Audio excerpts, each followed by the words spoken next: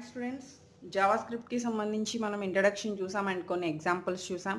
So previous క్లాస్లో మనం అవుట్పుట్కి సంబంధించి ఎలా ప్రింట్ చేయాలి అనేది కూడా మనం చూడడం జరిగింది. సో ఇక్కడ నుంచి మనం ప్రోగ్రామింగ్ స్కిల్స్లోకి ఎంటర్ అయితే ఫస్ట్ ప్రోగ్రామింగ్ స్కిల్స్లో అంటే జావా స్క్రిప్ట్ నేర్చుకోవాలి అంటే first that is completely based on programming language కాబట్టి కంప్లీట్గా ప్రోగ్రామింగ్ లాంగ్వేజ్ కూడా మనం ఇక్కడ ఎలా యూజ్ చేస్తాము? అండ్ ప్రోగ్రామింగ్ లాంగ్వేజ్కి సంబంధించి ఇక్కడ ఏం బేసెస్ ఉన్నాయి అనేది కూడా ఫస్ట్ మనం తెలుసుకోవాలి. తర్వాత మనం వాటిని అప్లై చేయడం జరుగుతుంది.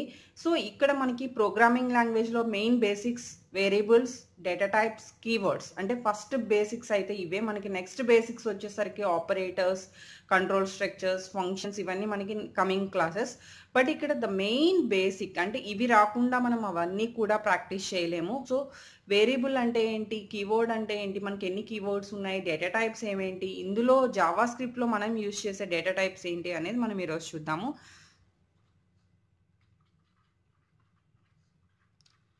There are different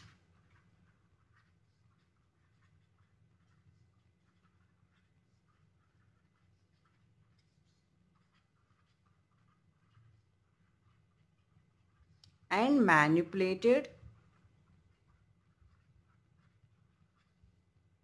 in a programming language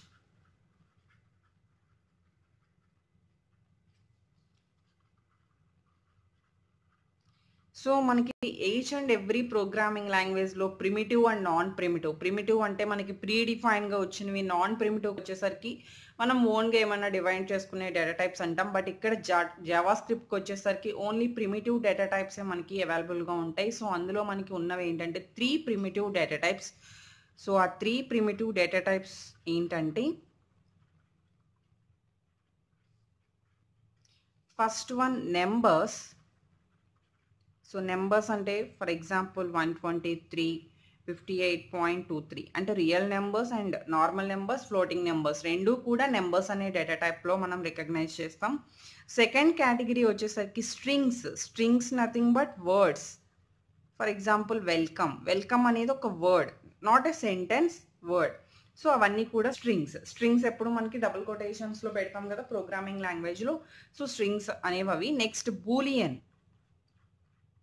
only ఈ త్రీ డేటా టైప్స్ మాత్రమే మనకి జావా స్క్రిప్ట్లో అవైలబుల్గా ఉంటాయి that is true or false అంటే మనకి బూలియన్ డేటా టైప్ అంటే మనం ప్రోగ్రామింగ్ ఇంకా డెప్త్కి వెళ్ళినప్పుడు బేస్డ్ ఆన్ కండిషన్స్ యూజ్ చేసినప్పుడు ఈ ట్రూ ఆర్ ఫాల్స్ అనేవి మనకి యూజ్ అవుతూ ఉంటాయి. So first one numbers strings and boolean data type అయితే ఇక్కడ more two or more data types అని చెప్తాం. వాటిని మనం ట్రివియల్ డేటా టైప్స్ అంటాం. అవి ఏంటంటే null and undefined so trivial data types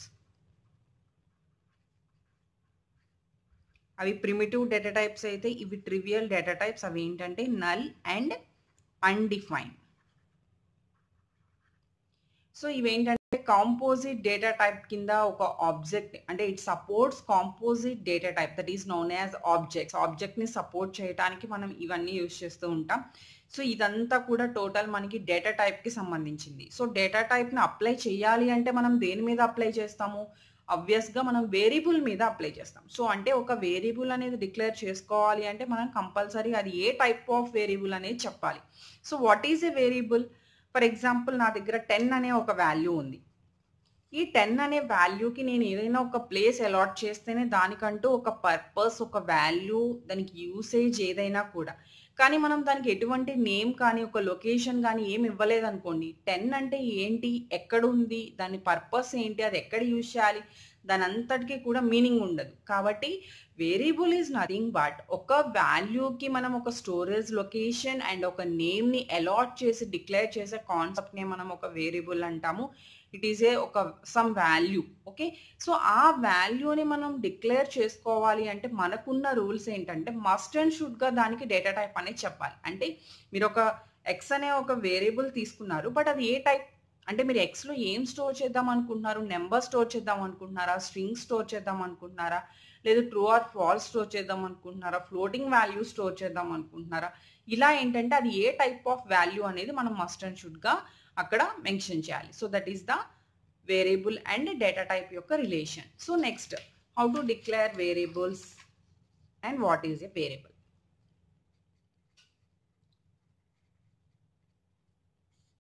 so మనకి వేరియబుల్కి వచ్చేసరికి మల్టిపుల్ వేరియబుల్స్ని కనుక డిక్లేర్ చేయాలి. సింగిల్ వేరియబుల్ అంటే జస్ట్ నార్మల్గా మనం డిక్లేర్ చేస్తాం. మల్టిపుల్ వేరియబుల్స్ చెప్తున్నాను.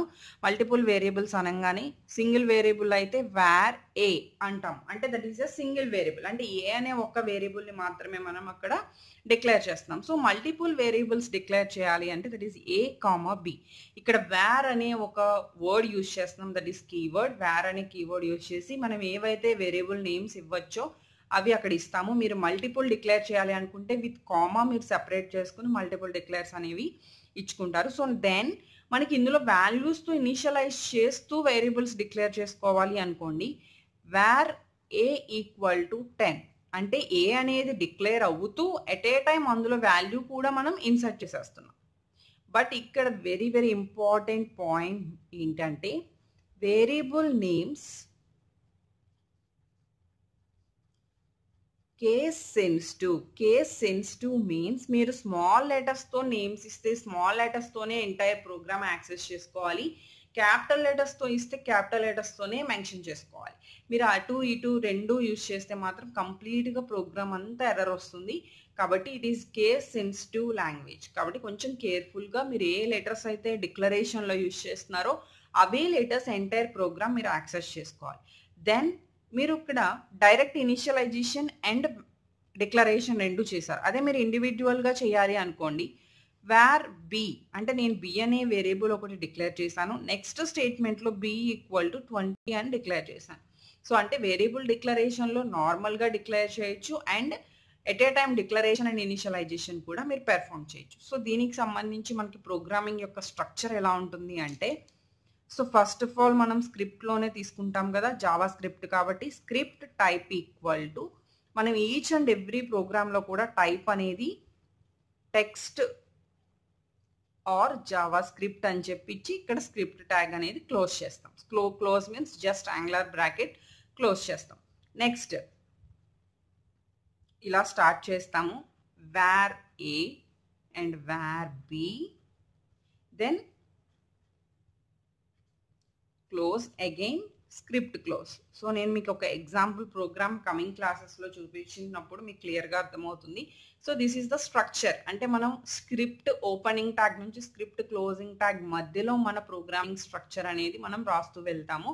సో నెక్స్ట్ కాన్సెప్ట్ ఏంటి అంటే స్కోప్ మనకి ఈచ్ అండ్ ఎవ్రీ ప్రోగ్రామింగ్ లాంగ్వేజ్లో కూడా ఉంటుంది. స్కోప్ ఏంటి స్కోప్ అంటే వేరియబుల్ యొక్క స్కోప్ స్కోప్ మీన్స్ మన ఐ స్కోప్ ఎంతవరకు ఉంటుందని మనం ఎలా అయితే కౌంట్ చేసుకుంటామో అలాగే వేరియబుల్ స్కోప్ ఎంతవరకు ఉంటుంది అనేది కూడా మనకి కొన్ని మెథడ్స్ ఉన్నాయి. సో అవి ఏంటంటే మనకి టూ టైప్స్ ఆఫ్ మెథడ్స్. అసలు స్కోప్ అంటే ఏంటి?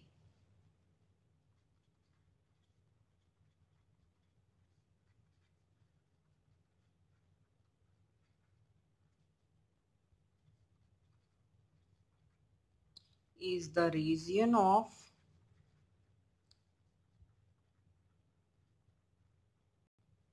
కొంతమంది డెఫినేషన్స్ అడుగుతున్నారు. వాళ్ళ కోసం నేను డెఫినేషన్స్ నోట్ చేస్తున్నాను.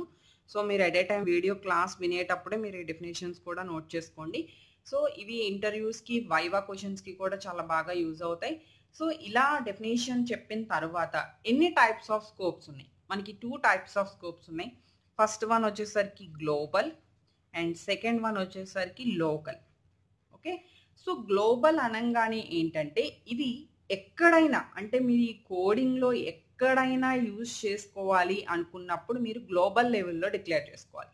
అంటే గ్లోబల్ వేరియబుల్స్గా డిక్లేర్ అయిన వేరియబుల్స్ యొక్క స్కోప్ ఎంతవరకు ఉంటుంది అంటే ఎంటైర్ ప్రోగ్రామ్ ఎక్కడైనా యాక్సెస్ చేసుకోవడానికి ఛాన్స్ ఓన్లీ గ్లోబల్ వేరియబుల్స్కి మాత్రమే ఉంటుంది. అంటే మీకున్న నెసెసిటీని బట్టి మీకు ఎంటైర్ ప్రోగ్రామ్ యాక్సెస్ చేసుకోవాలి అనుకున్నప్పుడు మీరు వేరియబుల్ని గ్లోబల్లో డిక్లేర్ చేస్తారు. లేదు only particular function or particular loop or particular body అంటే బ్లాక్ సో సపోజ్ మీరు ఓపెనింగ్ అండ్ క్లోజింగ్ చేశారనుకోండి ఈ బ్లాక్ వరకు మాత్రమే మీకు యాక్సెసింగ్ అవసరం ఉంది. అవుట్ సైడ్ బ్లాక్ యాక్సెసింగ్ లేదు అనుకున్నప్పుడు మీరు ఆ బ్లాక్లో డిక్లేర్ చేసుకుంటారు. అంటే ఆ బ్లాక్లో డిక్లేర్ చేసినప్పుడు దాని యొక్క క్లోజింగ్ ఆటోమేటిక్గా ఈ బ్రేస్తో దాని యొక్క స్కోప్ కూడా ఏమవుతుంది అంటే ఎండ్ అయిపోతుంది. So that is the local variable అంటే వేరియబుల్ యొక్క స్కోప్ మనం ఎలా చెప్పొచ్చు? Two టైప్స్లో that is global and local variables కింద టూ టైప్స్లో మనం ఎక్స్ప్లెయిన్ చేస్తాము.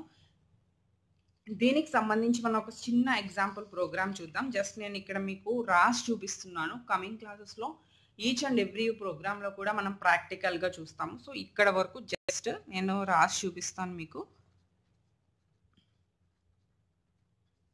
ఇది నార్మల్ మన హెచ్డిఎంఎల్ ప్రోగ్రామింగ్ స్ట్రక్చర్ బాడీ ట్యాగ్లో నేను ఇక్కడ స్క్రిప్ట్ ట్యాగ్ అనేది తీసుకుంటున్నాను. బట్ టైప్ అనేది మీరు కంపల్సరీ ఇవ్వాలి text or JavaScript.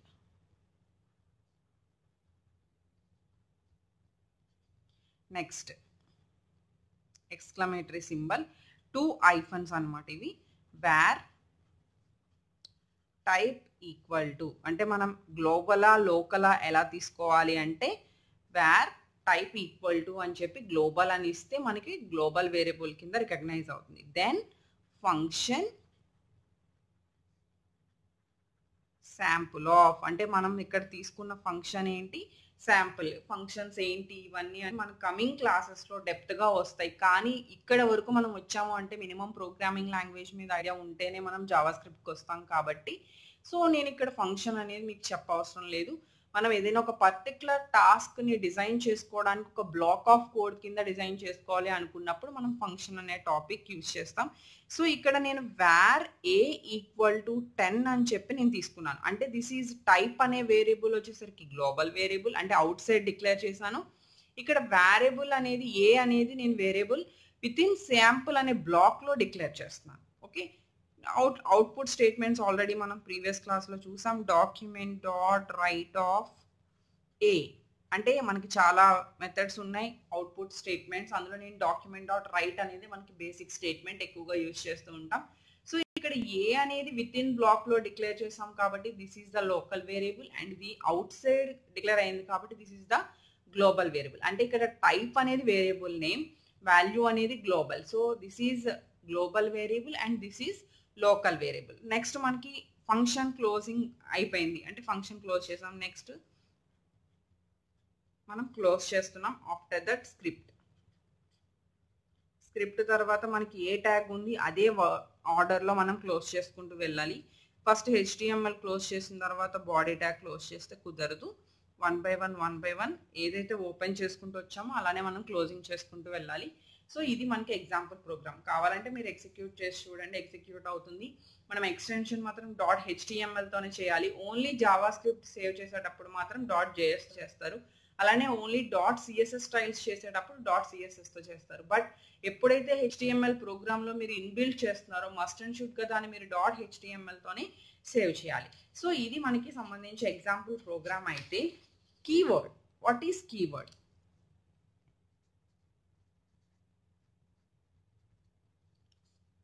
వీటిని మనం ఏమంటాం ఏవైతే రిజర్వర్డ్ వర్డ్స్ కింద ఒక నేమ్తో ఫిక్స్ అయిపోయినాయో ఫర్ ఎగ్జాంపుల్ ఇప్పుడు ఏ అనేది నేను ఒక వేరియబుల్ యూజ్ చేశాను. దానికంటూ ఎక్కడ ఫిక్స్డ్ నేమ్ అనేది లేదు. మనం ఎక్కడ కావాలంటే అక్కడ మనకి నచ్చిన వేరియబుల్ అండ్ వాల్యూస్తో మనం యాక్సెస్ చేసుకుంటాం. బట్ కొన్ని వర్డ్స్ అనేవి ఆల్రెడీ ఫిక్స్ అయిపోతాయి కొన్ని మీనింగ్స్తో వాటితో మాత్రమే మనం యాక్సెస్ చేయాలి. వాటిని ఇంకా వేరే విధంగా మనం యాక్సెస్ చేయడానికి ఛాన్స్ ఉండదు. వాటిని మనం కీవర్డ్స్ అంటాం. So which words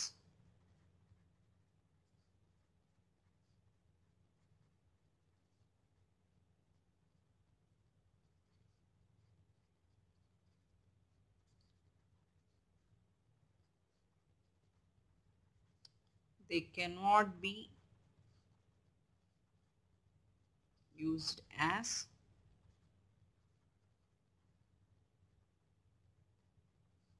variables కింద వాటిని యూజ్ చేయలేము. అండ్ ఫంక్షన్స్లో ఫంక్షన్స్ నేమ్స్ కింద మనం యూజ్ చేయలేము.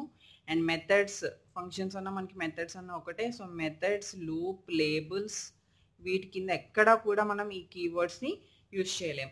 ఆర్ ఇంకా కమింగ్ క్లాసెస్ ప్రీవియస్గా మనం వెళ్ళేసరికి ఆబ్జెక్ట్స్ కూడా వస్తాయి. ఎందుకంటే మనకి ఇక్కడ ప్రోగ్రామింగ్ లాంగ్వేజ్ బేస్ తీసుకున్నాం కానీ కంప్లీట్గా సి లాంగ్వేజ్ అని మనం తీసుకోలేదు. కమింగ్స్ ఉన్న ఆబ్జెక్ట్స్ కూడా మనం యూజ్ చేస్తూ ఉంటాం. ఆబ్జెక్ట్ నేమ్స్ కింద కూడా మనం ఎక్కడ కూడా ఈ కీవర్డ్స్ని యూటిలైజ్ చేయడం అనేది కుదరదు. సో అంటే ఒక ఫిక్స్డ్ వర్డ్తో మనకి ఆల్రెడీ ఫిక్స్డ్ మీనింగ్తో మనకు ఒక వర్డ్ అనేది రిజర్వ్ అయిపోయింది కాబట్టి మనం వాటిని ఎక్కడ యూజ్ చేయలేం. యూజ్ చేస్తే అక్కడ ఆటోమేటిక్గా మీనింగ్ అనేది మనకు అక్కడ అప్లై అవుతుంది. వెంటనే మనకి ఎర్రర్ వస్తుంది. కాబట్టి అక్కడ మనం సాల్వ్ చేయడం కుదరదు. సో ఇక్కడ ఈ రోజు వరకు మనం నేర్చుకున్న టాపిక్స్ వచ్చేసరికి ప్రోగ్రామింగ్ లాంగ్వేజెస్ బేస్లో what is variable what are the data types and what is keyword okay so next క్లాస్కి వచ్చేసరికి ఏంటంటే మనం ఆపరేటర్స్ మీద నేను మీకు డైరెక్ట్ ఎగ్జాంపుల్స్ చూపిస్తాను. ఆపరేటర్స్ అంటే మనం జనరల్గా ఎక్కువగా యూటిలైజ్ చేస్తూ ఉంటాం కాబట్టి నేను డైరెక్ట్గా సింపుల్గా దాన్ని ఒక ఎగ్జాంపుల్ ప్రోగ్రామ్లో మీకు ఎక్స్ప్లెయిన్ చేస్తాను. So this is the class about variables data types and keywords. Class నచ్చినట్టయితే కనుక డెఫినెట్గా లైక్